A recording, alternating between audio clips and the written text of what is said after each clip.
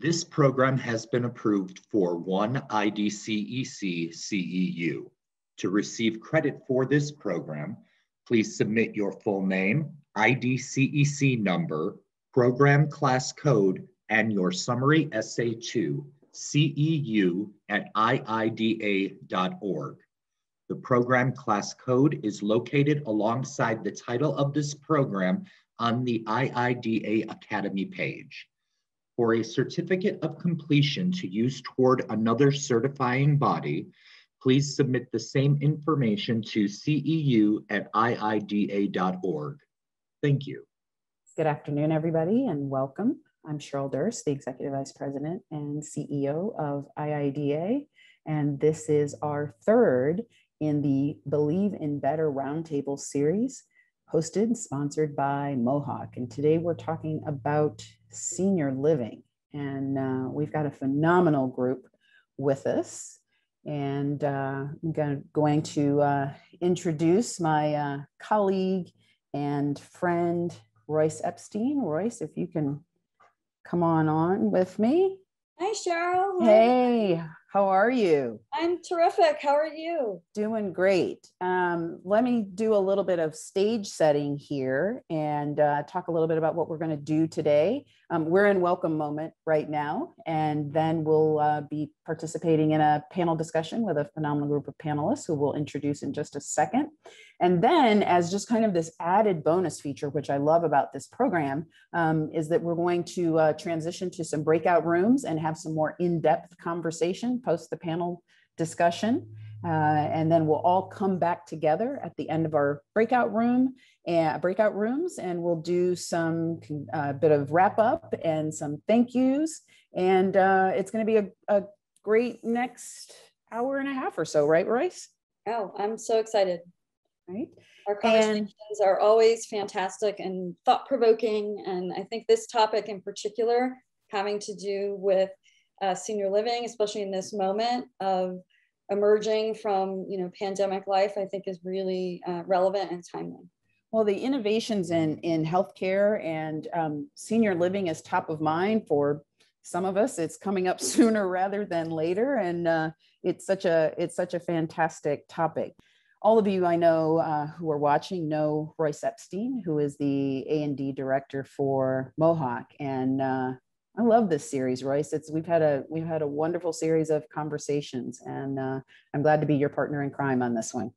Same here, Cheryl. Thank you for joining us. Yeah, let's get started. Okay, so I'm going to introduce two of our panelists. Our first panelist is Hilary DeGroff. She is from Perkins Eastman. Uh, she's an associate principal in Chicago. Welcome, Hillary. Um, thanks. Thanks for having me. There you are. and our second panelist is Siobhan Farvarden. She's a principal at HKS in Dallas.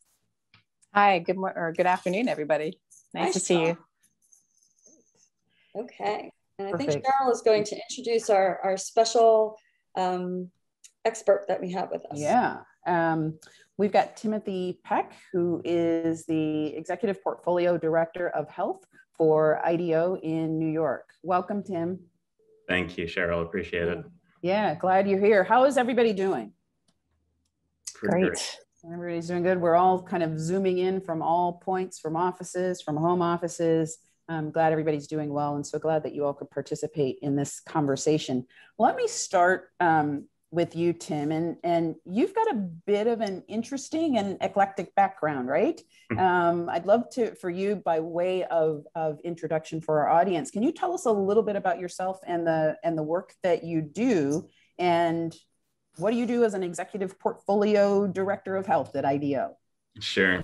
Um, yeah. So as the executive portfolio director of health, I get to sit at IDEO, and if you're not familiar with IDEO, you know, uh, world famous kind of design firm uh, that has championed human-centered design, uh, creative confidence, um, and um, and design thinking for for 40 years or so. Um, and uh, we sit um, at the intersection of design and everything is really what we look at. Um, we we work on things as big as systems changes and inventing um, the the school system for the middle class in Peru um, to uh, things that you can pick and drop on the floor, like insulin pens for Eli Lilly. So um, we're really all over the place in what we, we look at in terms of the subject.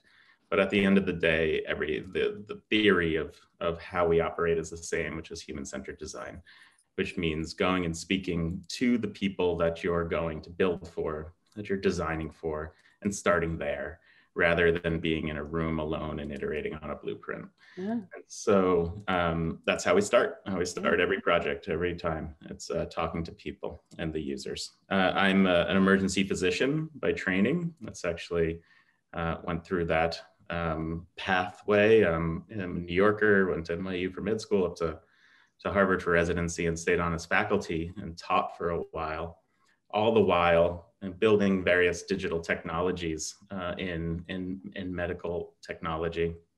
And then left traditional medicine back in 2014, kind of moved out to Silicon Valley and made my first uh, startup for myself, which was um, a large uh, a digital health company, um, and since a couple others. And um, in that process, I had kept bumping into IDEO um, I became a client of theirs, a kind of part-time consultant for them, um, and really applied everything, uh, all of their theories to the things that I made and found it to be successful every time. I, I just listened to what they had told me. So uh, when I was in between um, a startup and a next opportunity, I, I joined IDEO full time uh, back in March of 2020.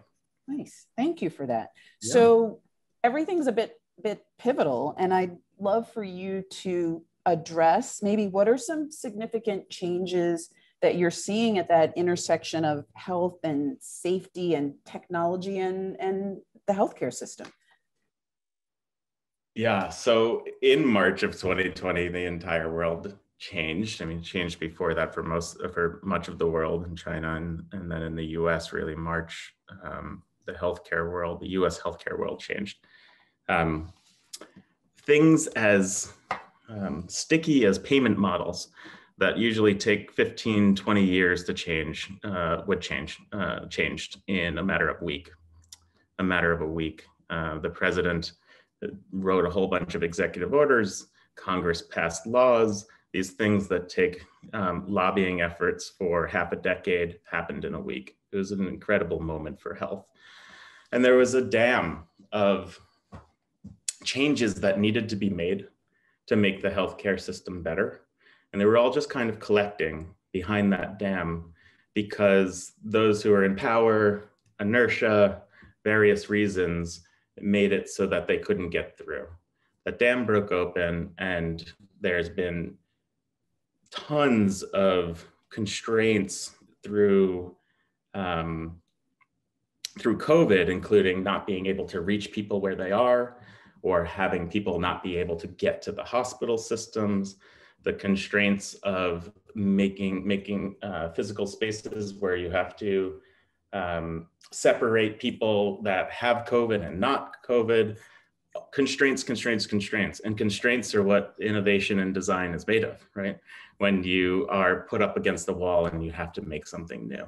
So innovation has been everywhere in design and in medical technology, in the professional scope of what certain people do in medicine has changed. You know, what nurses are do, what doctors do, their, their very days are different, just like all of ours are as we're talking here on Zoom. Mm-hmm. And so that means everything needs to change. And that's a perfect time for design to come in. Yeah, perfect. Thank you for that. Royce.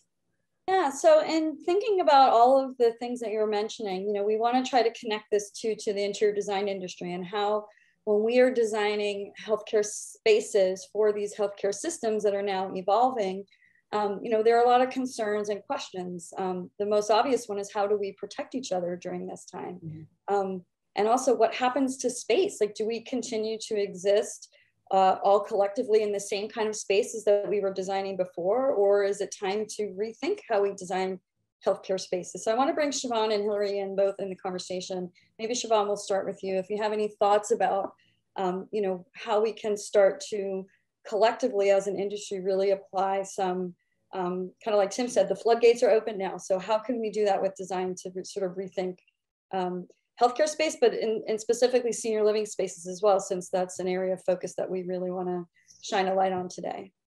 Sure. Thanks, Royce, um, and Tim for that. Also, you know, I think change is is as hard as it is. Nobody wants to. It's not comfortable. It's uh, difficult to, uh, you know, you get in the mode of things and you just want to continue on. But you know, change has is not new as many would think outside of our industry. Change is not new to the senior living world. I mean, we went through it. Um, we went through a culture change in the past um, 10, 20 years. It was pretty dramatic. Um, you know, if you think of what senior housing was uh, in the 90s and prior to, it's it's drastically different um, today than what it was. And I think there's some education that we need to um, get out there to the the broad culture. I think there's people that still think it's bingo and and jello out there. Um, you know, there's especially the silent um, generation. They're not um, maybe educated and uh, aware of what's what their choices are. So I think there's some education there that needs to be addressed. Um, uh, we all know that senior living's been elevated, and, and, the capability for a loved one to be in a senior living community is a lot better than being isolated at home. Um, so I think we just go and we propel that. We use the pandemic; it's kind of the silver lining in all this. It's let's leverage that um, and not get anemic and uh, continue that that growth. Um, and then uh, affordability, um, trying to address that. I think the squeaky wheel uh, should get the oil. Um, there's potential there to really, really radicalize affordable care. Um, I think we can reach across different sectors, um, working with our, our partners or contractors or policymakers to see what we can do to really crack that nut. Yeah, Hillary, did you want to add to that? Sure. Yeah, Siobhan, I think you had a really good point about the idea or the preconceived notions around senior living specifically. Um, one of the books on my nightstand, which ties into Tim, what you were speaking to as well, is Dr. Gawande's Being, Being Mortal. And I don't know if anybody here has read that, um, but it's really, for me, it's starting to shed light on what's wrong and what's right um, in embracing age and the process, and then also death. Um, and I think what this COVID era has done, it's it's kind of catapulted us into an age of reimagining what that whole process is like. It's combating ageism, it's blending generations, it's blending the idea of space and, and what it means through the aging process. I think it's a celebration of um, you know people's third act. It's not the end; it's the next step. Um, and then, most importantly, how healthcare fits into wellness, not the other way around. Um, I, I also think that the loneliness pandemic, which was prevalent even before the COVID pandemic, was exacerbated because of the past year and what we all went through. I think we saw a lot of, um, I think we saw a lot of residents decline tremendously, not from COVID, but from pre existing conditions. And a lot of that decline can probably be contributed to the fact that we lacked that social aspect of our lives. Um, I think the challenge of the century for designers moving forward is how to design space to promote social interaction, but in a safe way. And um, we'll, we'll see how it we'll see how it shakes out, I guess. That's that's great, Hillary. You raised some really fantastic points, and I, you know, there's been so much conversation lately um, around even with cause of death with COVID, and and now there are these distinctions. You either died of COVID or with COVID. And you know, in that conversation, I think we heard a lot about senior living facilities, particularly at the onset of the of the pandemic. And right the facilities were negatively affected. The workers there their families were affected um, open to, to all of you what what changes are we seeing in the in design in senior living and, and systems in senior living and how are we thinking about things like room sharing um, ventilation and circulation, even visitation. Um, what are some changes that you all are are seeing both in both in the structure and the design and in in the the system um, of senior living? And I'll open that up to all of you. Well, Cheryl, I think it's an opportunity to really um, inject the need for a variety, more variety in communities. Um, you know, we, we, can have smaller, more intimate dining. It doesn't need to be one big room or just a few big rooms, but uh, creating more um, house home-like environments. I think uh, the greenhouse model is a great model for that. Um, it, it would probably elevate that. This pandemic would probably elevate the need um, you can choose that path or you can kind of model that on the side.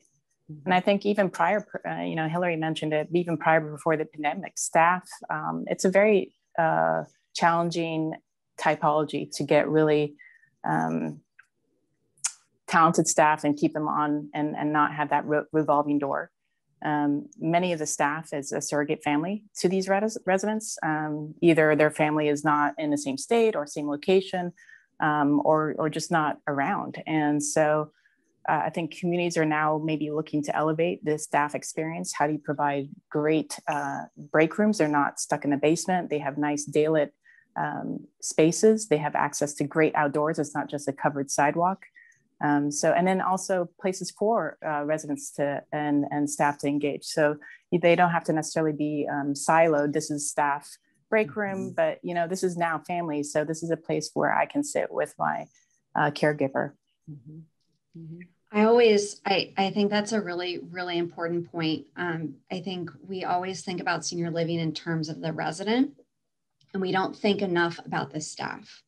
Um, the level of care that a resident receives is a direct correlation in how we care for the staff. Um, I think, especially in certain levels of care, what they go through um, on emotional and physical level each day for long shifts it's more than i think most of us can imagine. Mm-hmm. um, yet their employee break rooms at times can be kind of secondary or tertiary thoughts in terms of design. And i think as um, as we move forward we're going to be hearing from more and more organizations who are interested in in using those types of amenities or programming to look at recruitment and retention and maybe be able to celebrate it.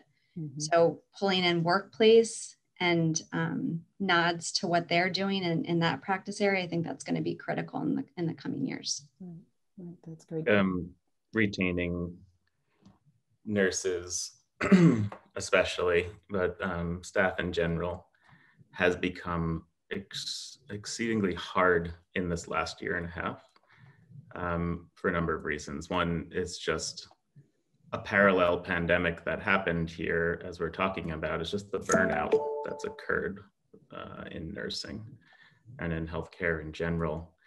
Um, and people are leaving the nursing profession. There's a lot of, there's about 4 million nurses in the US, um, and that's shrinking right now.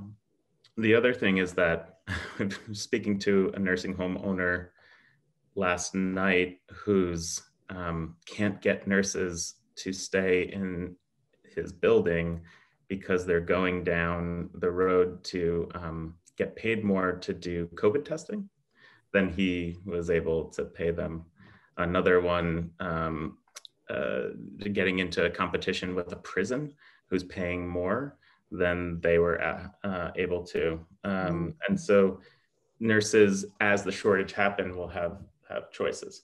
And so I want to share a story that tells you a little bit about human-centered design as well, which is I, I lived in a nursing home voluntarily for a bit um, and was there playing the role of a patient. I became a doctor and started treating patients myself, learning from the CFO about what the economics were. Eventually had a cot in the conference room to do a number of experiments. And one experiment we did was woke up at one night at one o'clock in the morning and walked around for an hour, went back to sleep. Next two o'clock in the morning, three o'clock, four o'clock, five o'clock. At about 5 a.m., there were a whole bunch of uh, CNAs, nursing assistants, sleeping in the lobby.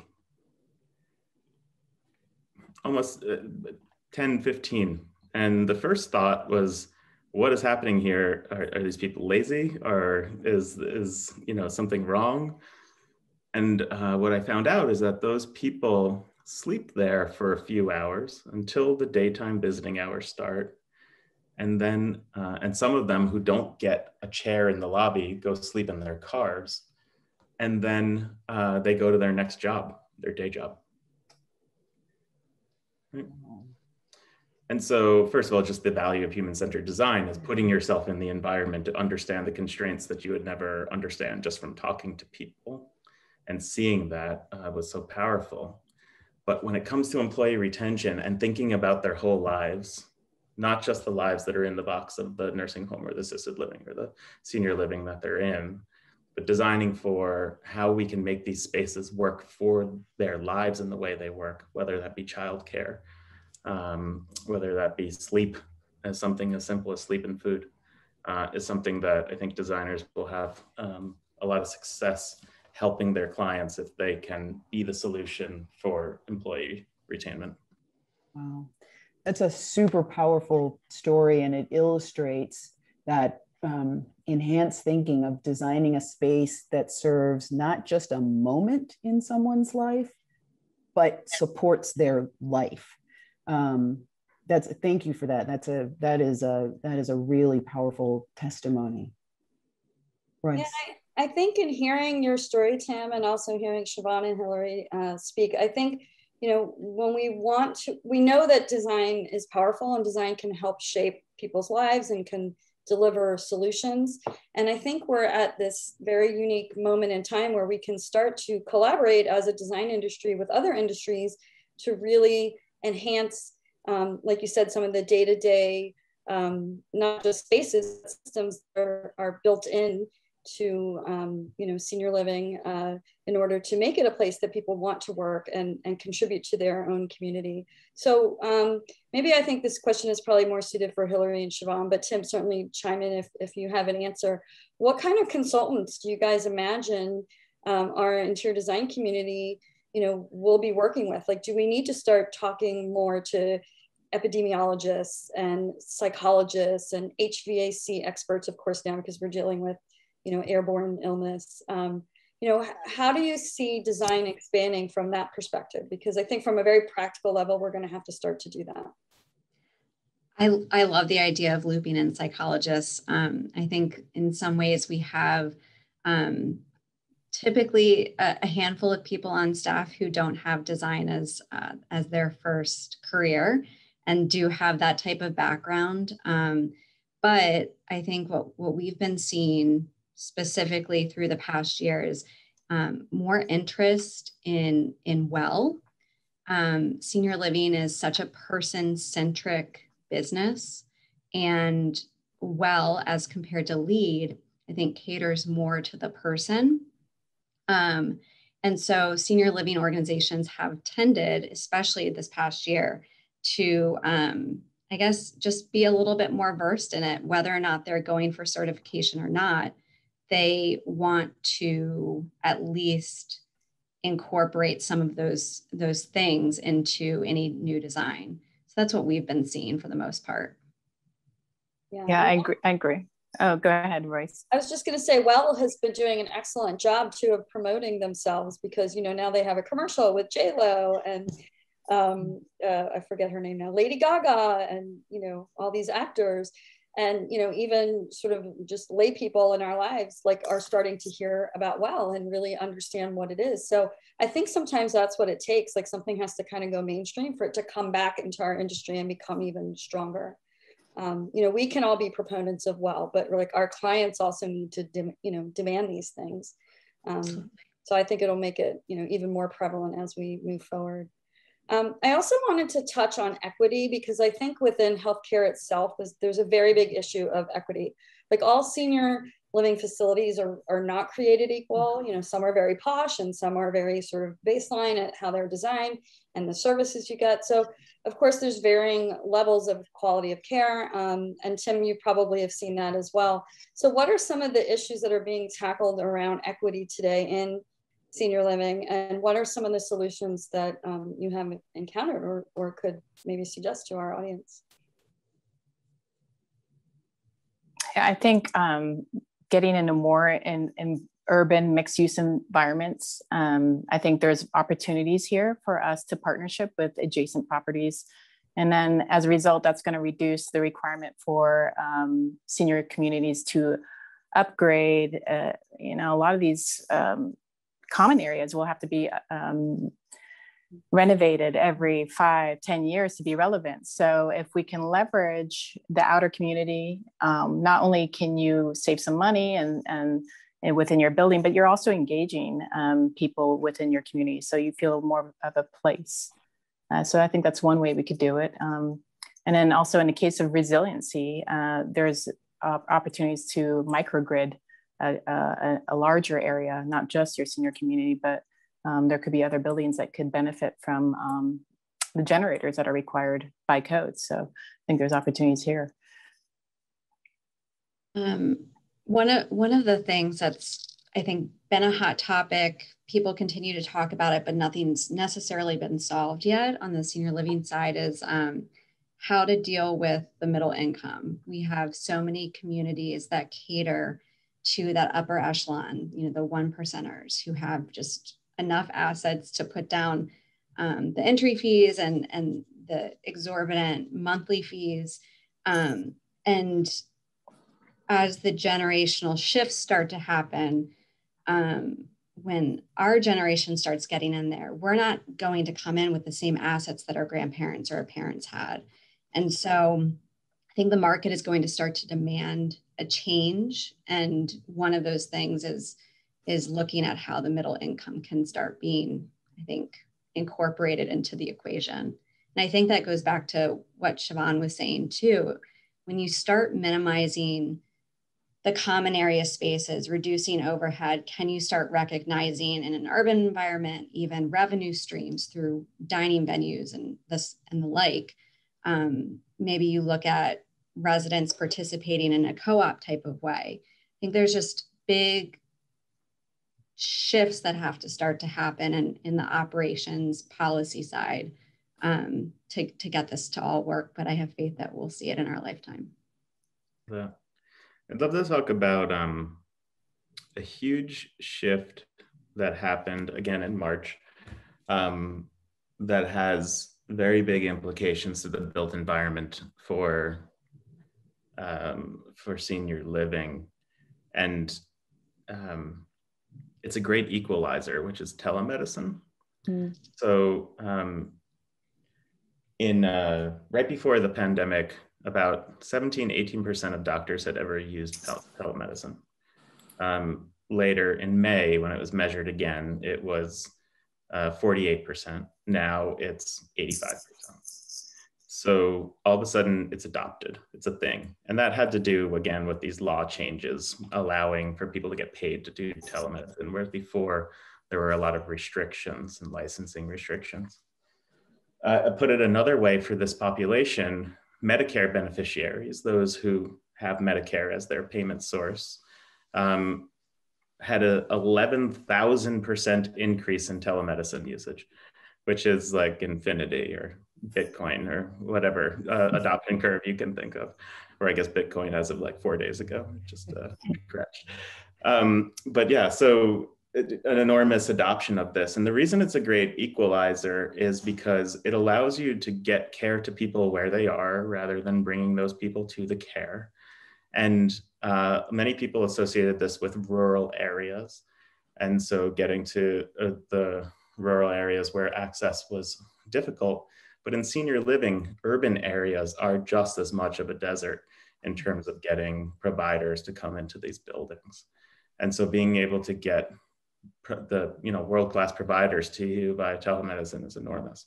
What this means for the built environment is that we have to be thinking about what do we do with our TVs? Um, how do we make those into consoles that our uh, that people can interact with?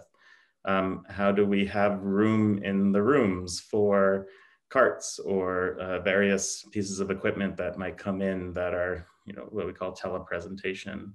Um, and this has also spurred on an entire movement of remote monitoring. So um, having various patches on you, having wires connected, etc., Um, and what does that mean for how you're building these um, building these rooms? Um, this is even spread to dialysis, which is uh, the, the mechanism to kind of clean your blood when your kidneys don't work. Usually you go to this, this huge machine in a building somewhere outside of the senior living to do that. And there's been now uh, telemedicine laws and, and, and new technologies that have pushed it to have these machines become smaller and go into the building to, to treat people.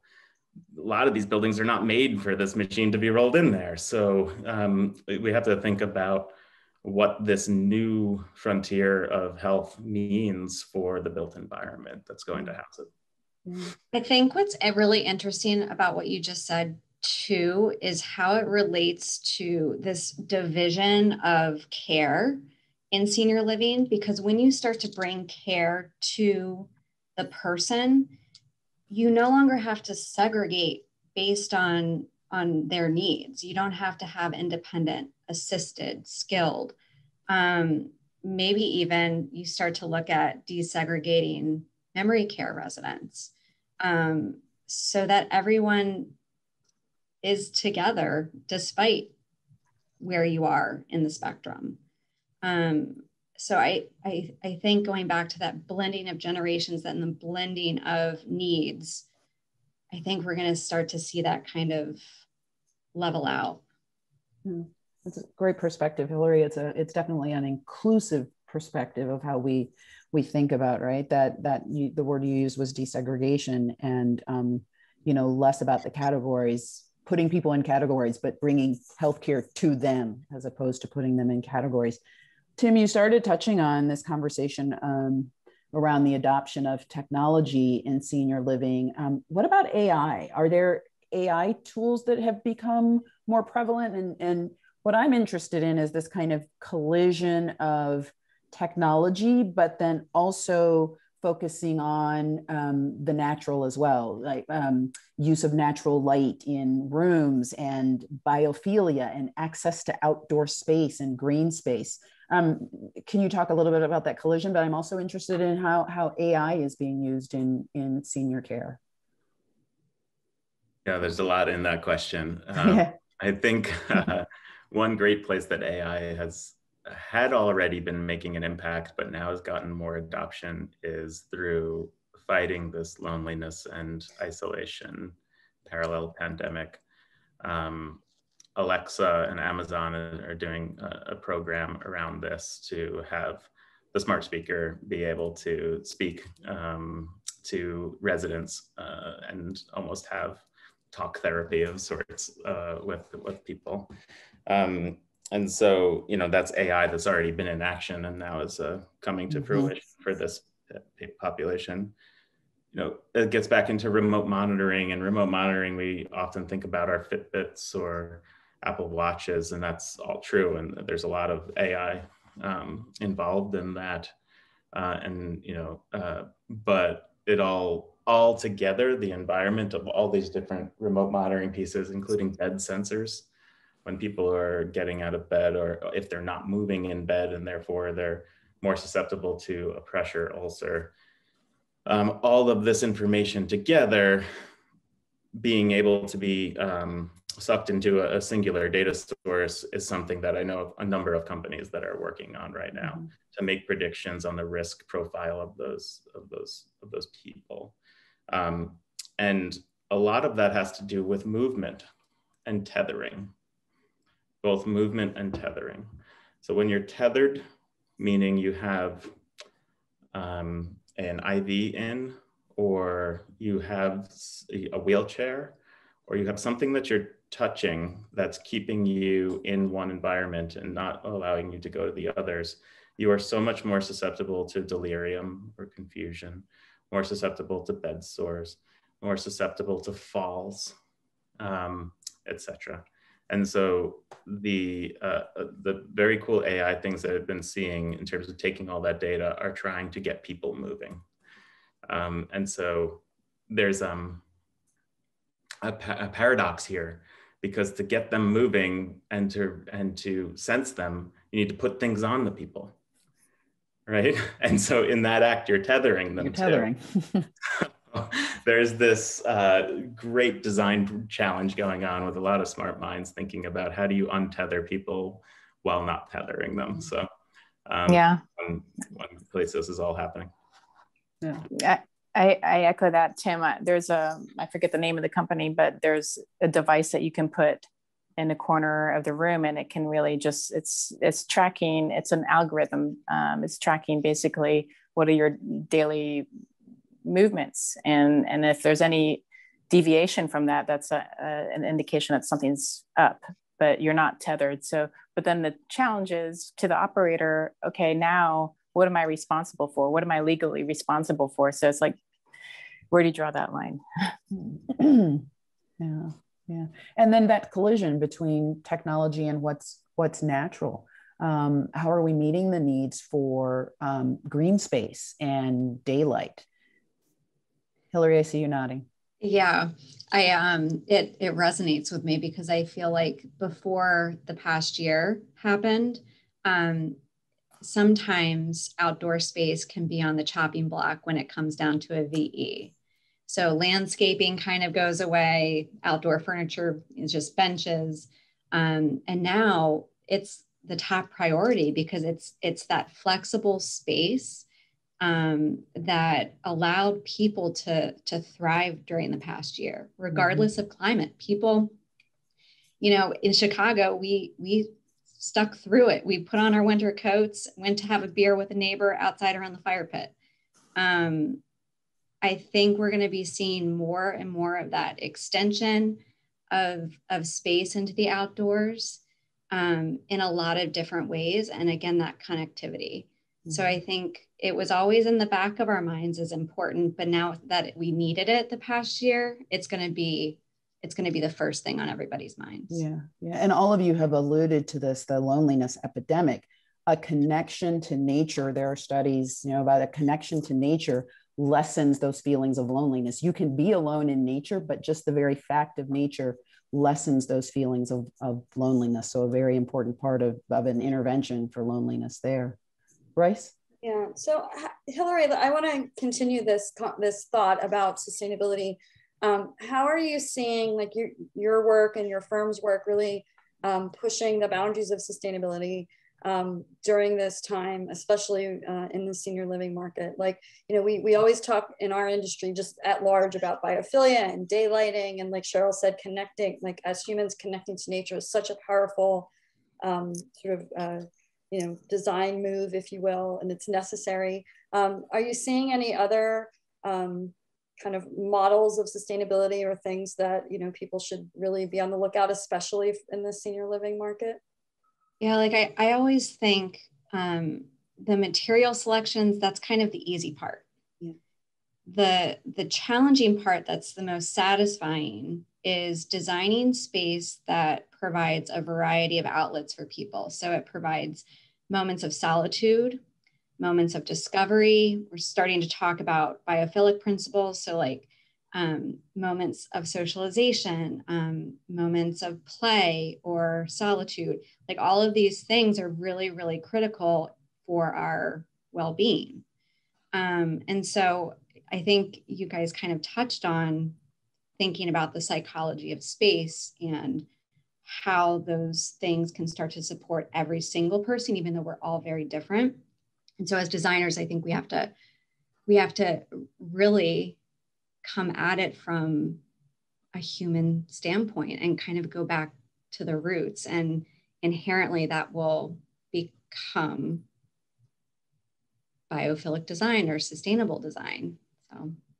Yeah i talk a lot about expanding the definition of not just design but also sustainability. And i think you're kind of touching on that here. Like, I think we all need to come together as an industry and really figure out how to stretch those definitions to be more inclusive and to think more about people's experiences. And not everybody is the same. We all come to life from a different perspective, but also get treated differently when we are in different space. Um, and so, um, you know, I think as designers, trying to kind of expand that and, and bring new ways of, of or new perspectives maybe of thinking about how we can kind of um, implement you know like bringing in psychology into our practice of course we're not trained psychologists but again working with consultants that can help us expand these definitions. So we can design for, you know, neurodiversities and we can design for, just like you were saying, different, um, you know, we don't uh, like in healthcare, we don't have to be pigeonholed. Like, you know, healthcare can come to us. So, you know, how do, how do we as an industry learn how to do that? So I think we do have to have sort of a collective open mind to kind of expand our definitions of design. I also think that this generation of designers, we are setting ourselves up for success in, in doing all of that because our backbone as a generation, I, I think personally, I think we have humanity and empathy, and we just have a more emotional connectedness than maybe previous generations, not in a bad way, but I think where there's just more um, there's more information out there to start to understand and, and navigate all of those things. And so being able to apply it to our work, it will just, I think it'll just allow us to really, um, really thrive. Yeah, and we can connect that too to the tools that Tim was talking about too. You know, previous generations didn't have monitors in the same way that we have now. You know, my dad actually just got a pacemaker and I was absolutely um, blown away at the technology that he can, you know, literally check on his phone how his heart is doing, and his doctor can also check, and they will alert him if they see that something is wrong. And I was just like, whoa, like how is that even possible today? You know, so it is amazing. Like technology really can change like an individual's life. It can change a generation. Um, and I do think you're right, Hillary, that, you know, especially Gen Z, as they're starting to graduate college and come into the workforce, you know, they are, they tend to be a more empathic generation. And I, I hope you're right that we'll see them expand this idea of sustainability and design to be much more humanistic. Yeah. Sure. Yeah, I love that commentary. And you companion that empathy with an abiding awareness of dignity right? Um, the dignity of the human beings in the space, the dignity of the experience. I think about Tim, Tim's story about the nursing assistants, you know, sleeping in chairs or sleeping in their car. Um, it's the dignity of the entire experience that we are forever concerned um, of, but I think we've become more aware um, of the increasing, you know, the dignity imperative is what I like to call it. So great discussion. Thank you all so much. We are going to move into our breakout rooms. Um, we're going to do some some wrap up. How about if we have some conversation about what everyone talked about? Um, anybody want to start? What did you talk about in your breakout rooms? Breakout rooms. How? Um, what are we seeing? Some some changes in how we think about perceptions uh, around aging, and and how can how can design support um, both the thought and the population? I'll go. I'll start. hey, Giselle. um, our group talked about the um, inclusive inclusivity and including all generations, uh, and that was good from you know uh, preschool all the way up to the actual community. The other main topic was uh, basic community and bringing in, uh, allowing the seniors or those of us that are aging to participate in college coursework, whether teaching or taking those classes. So that's really immersing ourselves, immersing the uh, senior living into the communities there in the colleges. And then I think the third point was interesting about the new products. And the new product was mentioned by Shaw uh, that documents movement in the room. So that's a, a new uh, uh, technology that's going to be able to support the those that are in the community as well. Those are three big takeaways I thought we had mentioned. I really like your number two, um, which was kind of reaping the benefits of an intergenerational community yeah. by taking programs. But then on the flip side, you know, we have a huge shortage of geriatric care people in the industry, and that will only continue. Mm-hmm. And so, what's really interesting about creating intergenerational communities is having those college students or any student start to see what senior living is or what what that generation can can give back. Um, and so you're creating that not only the you're combating the ageism but you're also creating that interest or that opportunity to get interested in that that career. Yeah. Yeah. Perfect. Thank you for that. Anybody else? I'll go. Yay. we look at it from a slightly different uh, perspective just slightly different we, we were talking about the first question, which is what does aging mean uh, to us, and pretty much everybody weighed in. And one of the things that we were able to to glean and to take away is that this generation that we're currently dealing with, the baby boomers, they're really different. They're very different than any other generation prior to them. And so their way of looking at themselves as aging individuals, I think is we all thought is fundamentally changing how people are viewing them, viewing the idea of aging as well. Because uh, they're going kicking and screaming, which I think sets a great precedent for everybody else on this call. uh, uh, and I believe uh, we chatted a bit about the second question, and I just want to make sure how can we, how can design support this population? Um, and, and we all kind of came to a very similar conclusion because, you know, this through this uh, convergence of tech and, and, and medicine, they're living longer, um, but there's a lot to be learned from even a sociological perspective on how to treat how to treat these folks, but certainly how to design for them because they have a lot of agency, as they certainly feel like it, and something that we have to acknowledge in our design practice. Um, but anybody else from my team who wants to jump in, please, please do. Haley? I think you did, Tra Tracy did beautifully. I think you captured what we talked about really well. Awesome. I think one of the big things is just is continuing to develop environments where people can thrive and be their best selves as they as they you know go through their their journey of life. Yeah. And one thing that Haley was very quick to comment on and, and, and I thought was such a great point was that we have to design for all of these different cohorts because there's different types of people and uh, uh, personality types aging. There's some folks who are extremely outgoing and want that community. There's some folks who are more introverted. Uh, and, you know, we're finding out in this time of COVID we, we actually touched upon this, how some of the introverts now are doing really, really well since the lockdown and how it's kind of anxiety inducing as people are coming out of this moment in a positive and good way. Um, but to keep in mind the different folks that is that designers have to prioritize. Thank One of the things, oh, I don't know if it's okay to talk go ahead, jump right in. In in our group, one of the things we talked about is that because people are living longer than they ever have before, that retirement is such an extended period now that and one of the things we were discussing is you know how do you just break off and say okay now i'm retired or is there a way to transition and say okay i'm going to work 40 hours a week.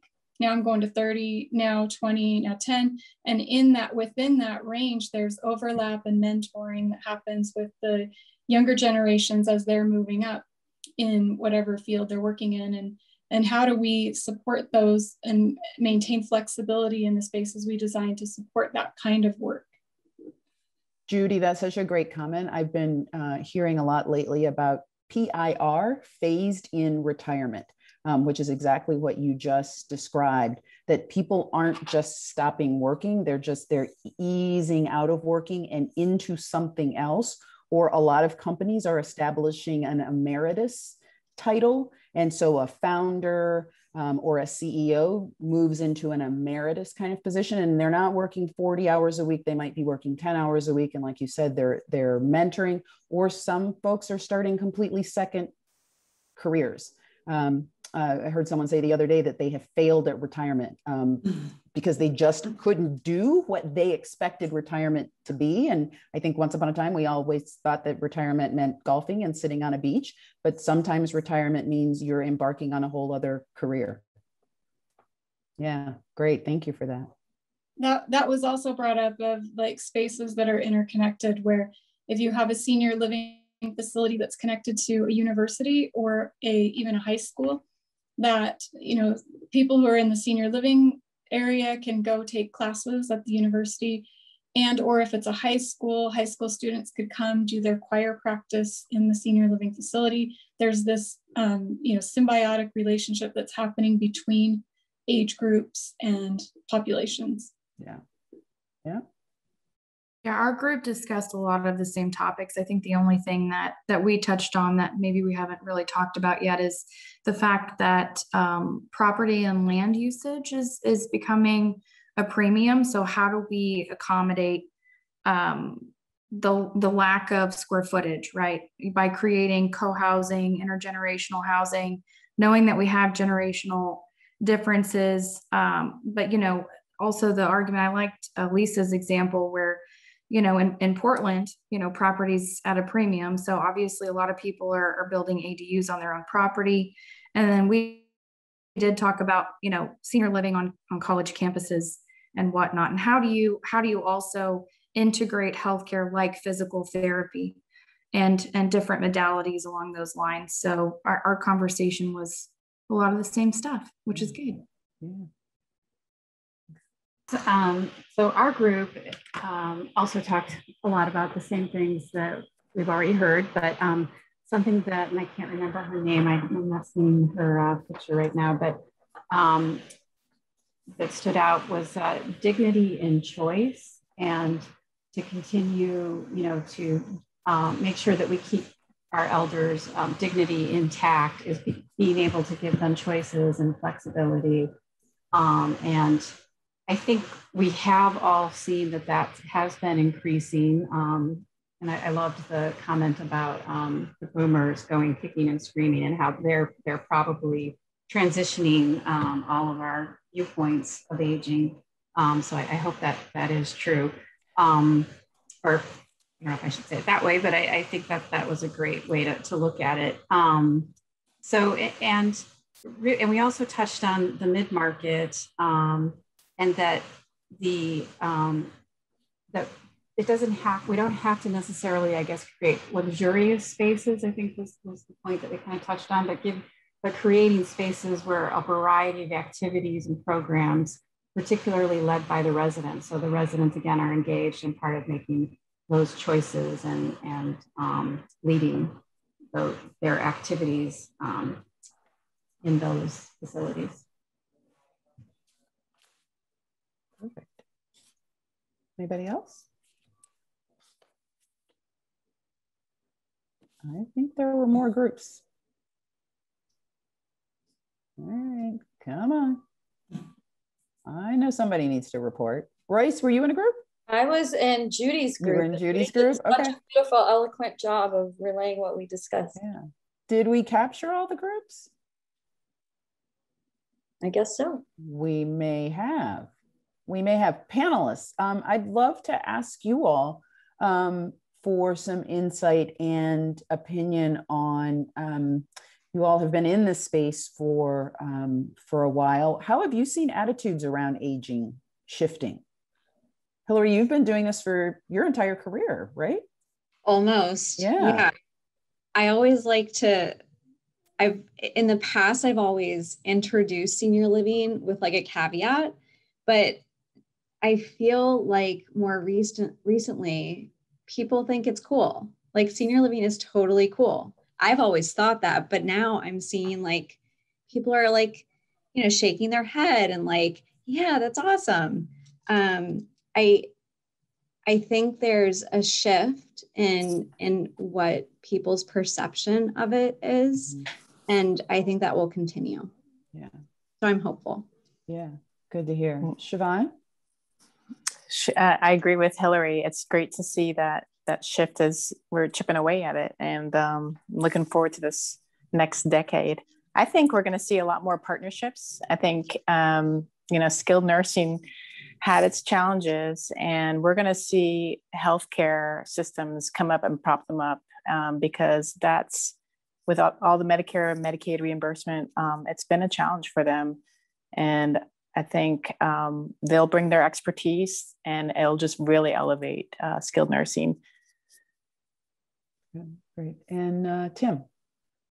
Uh, I'll go back to the, the, the hyper changes that happened for the pandemic. I think um, congregate living, as which is often called uh, in terms of uh, being together, has uh, had a spotlight on it from the beginning, right? Because that's where our first outbreaks happened mm-hmm. with the pandemic in the US. And so it kind of woke people up to the fact that um, this is where our uh, population lives, right? Uh, in, in terms of the aging population. This is where they are, not necessarily as much in the home. And there were a lot of negatives that we uncovered during that time and things that were already known to people in the industry, but became known to the populace at large. At this point, now there's this opportunity to show where both changes can be made on the places where there were negatives, as well as start to spotlight some of the positives. Um, and one of the, uh, I, I listened to a podcast the other day from the Times, and it was about um, kind of the spring awakening of people coming out of their rooms and finally getting to eat dinner together and, and mm-hmm. lunch together and meals together. And there was a story of a love affair, and like it was, it was absolutely amazing. This this blossoming of of uh, people coming together, like that hope is something that we can do a better job of highlighting now that we're in a moment where there is a little bit of hope in the air of what what the world will look like again. And um, I just hope that the spotlight stays on this population as we have that awakening. Yeah, I love I also, that. I sorry, Cheryl. Can I just go for it? More thing? Yeah. Um, I also think that it's not just the design side that's pushing things forward; it's the organizations who are forward thinking and trying to be in that transformative position to be the leaders in the industry. Um, you know, I, I had my first client, I never thought this would happen, but I had my first client recently describe their vision of what their community would be based on a Wes Anderson movie. I mean, like, is that not freaking cool? Yeah, I want to. I want to go there. Yeah. Yeah. So yeah, things are changing. Yeah, that's good. Um, that's great, and I I love Tim your comment on on hope and optimism, right? And does design is the most optimistic of professions.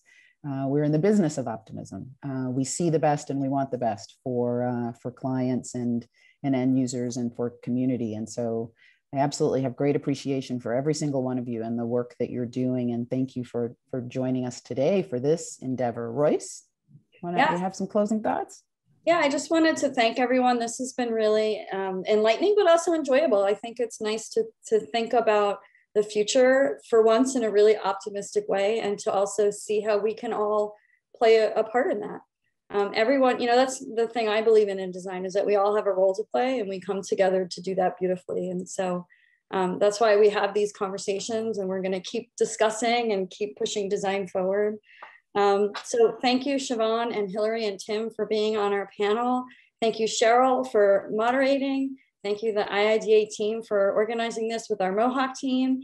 And thank you, all of our guests, for attending. We really appreciate you spending time with us, sharing your thoughts. Let's stay in touch and continue the conversation. Yeah, yeah. Thanks all. Good health. Okay good vibes, be well, good thoughts. Thank you. Be well. Thank you. Thanks, Royce. Thanks, Cheryl. Yeah. Bye, Bye. Thank you. Bye. Take care, everyone.